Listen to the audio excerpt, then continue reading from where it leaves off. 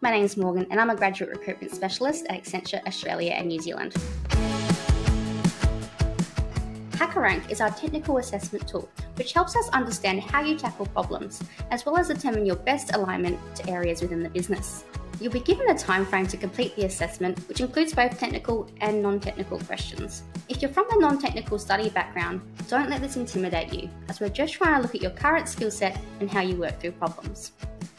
If you require any reasonable adjustments to allow you to perform at your best, we encourage you to reach out to your recruiter to discuss this. To get updates on what life is like at Accenture, check out our blog, Facebook, and LinkedIn.